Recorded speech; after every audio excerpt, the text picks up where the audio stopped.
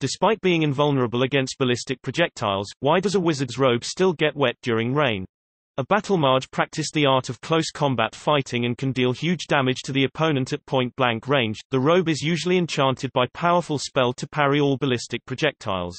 Unless the enemy attack completely overwhelm the battle mage in term of magic strength, the robe should survive unscathed. I kept wondering why I still see battle mages getting wet by the rain. Wouldn't then the robe be dissolved by acid rain too? The spell creates a force barrier that behaves like a non-Newtonian fluid.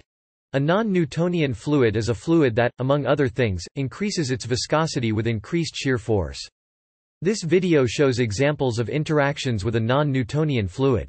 A protection spell applies such dilatant properties to the atmosphere around the wizard.